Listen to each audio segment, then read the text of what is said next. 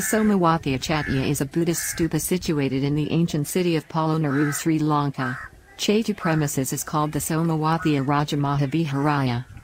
The Somawathiya Chaitya is located within the Somawathiya National Park on the left bank of the Mahaweli River and it is believed to have been built long before the time of Dutugamunu enshrining the right canine relic of the tooth of the Buddha. It is attributed to the reign of King Kavantissa, Dutugemunu's father, who ruled Magama. Somawathiya is therefore much older than Ruwanwelisaya, Mirisa Achia Vihara or Jetavanaramaya.